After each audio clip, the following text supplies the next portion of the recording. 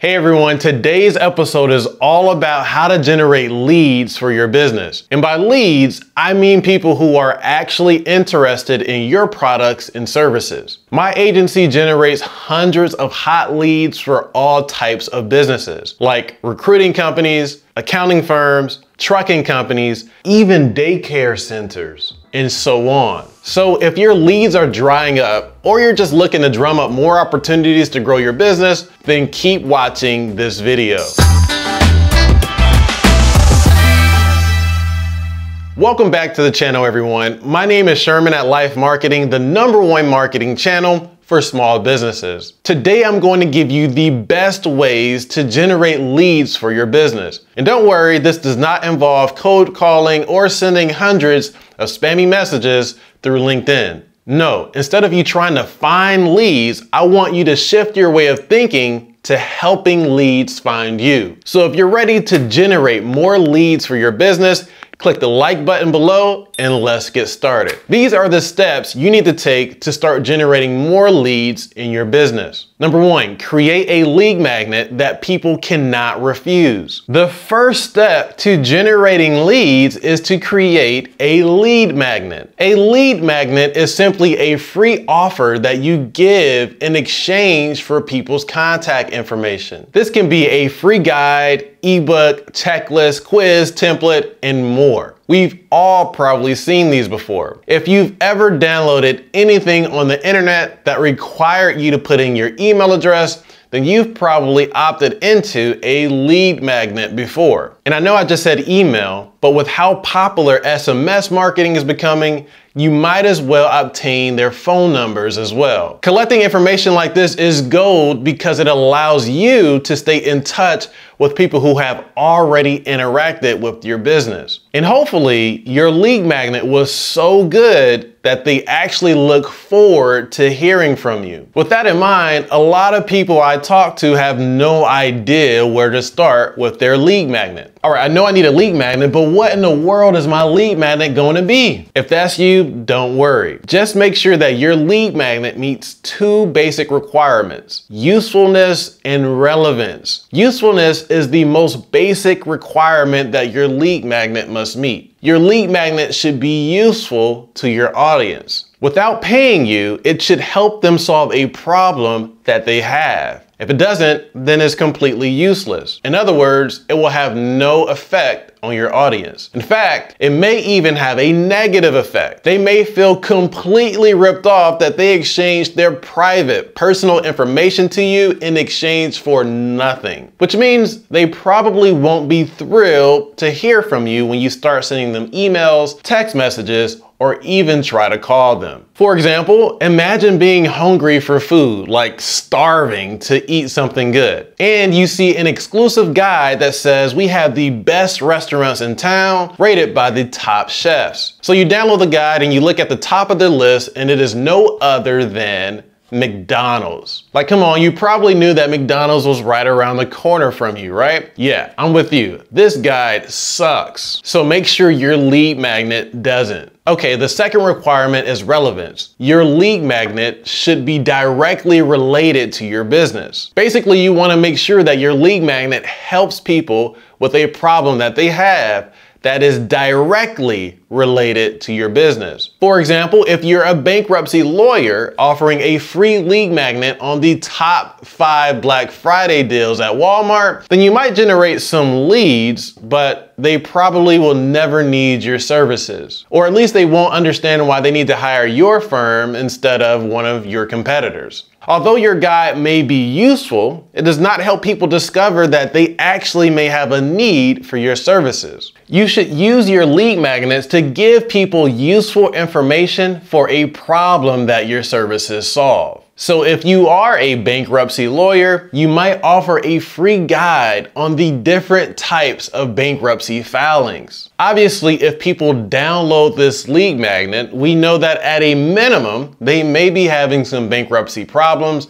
or know someone who does. And because your lead magnet is actually useful, they start to trust your company because of the quality information you provided and are interested in solving their problem. Now, all of a sudden, you have a hot lead that you can contact to convert them into a customer. All right, number two, promote your lead magnets. Once you have developed a lead magnet that you know your audience cannot refuse, you need to promote it. If people are not aware of your lead magnets, you aren't gonna get any leads. It's really that simple. By far, the quickest way to promote your lead magnet is going to be through advertising. For example, you can run a social media advertising campaign that targets a demographic of people who are most likely to be interested in your lead magnet. For instance, a landscaper might target homeowners over the age of 30, while a physical therapist might target adult athletes. You can also run search engine advertising campaigns like running ads on Google for people who are searching for words related to your business.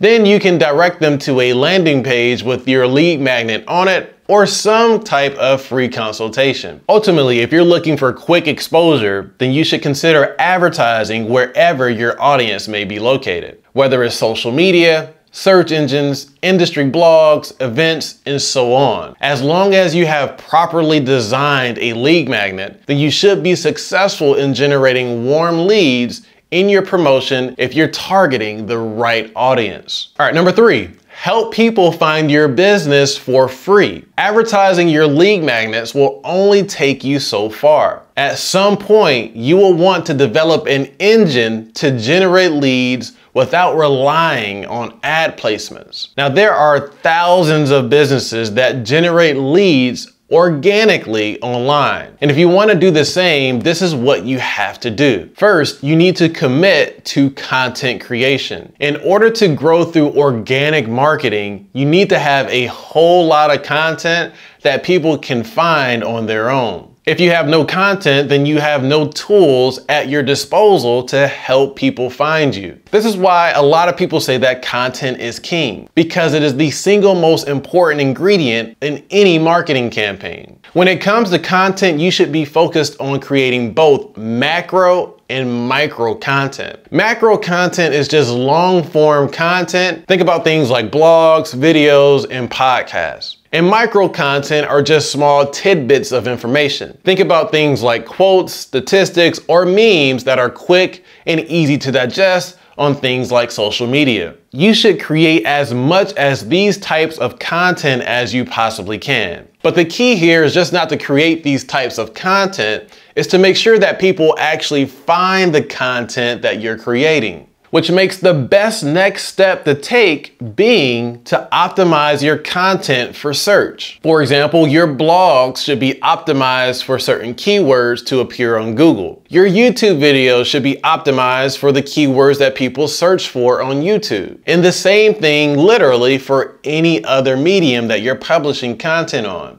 A lot of people think that search engine optimization only applies to Google, but this is simply not the case anymore. Search engine optimization applies to any platform with a search feature. And in a lot of cases, this includes most social media platforms. Millions of people perform searches every day across Instagram, Twitter, LinkedIn, and Facebook to find content that they're interested in. And heck, I could even argue that Pinterest is more of a search engine than a social media platform. Anyway, my point here is that you should be optimizing every piece of content you create for search engines. Search engine optimization is more of a science than an art. You just need to understand the algorithms of each platform you are publishing content to, and then you will reap the benefits of organic visibility. And if you're interested in learning more about that, be sure to subscribe to our channel because we'll be providing you with more information on this very soon. But the bottom line for this video is that if you want leads online, then you need to have a damn good lead magnet. And once you have that lead magnet, you need to make sure that people see it. You really only have two options. You can pay to get immediate exposure to your lead magnet through advertising, or you can focus on content marketing and search engine optimization to build organic traffic to your website, which then promotes your lead magnets for completely free.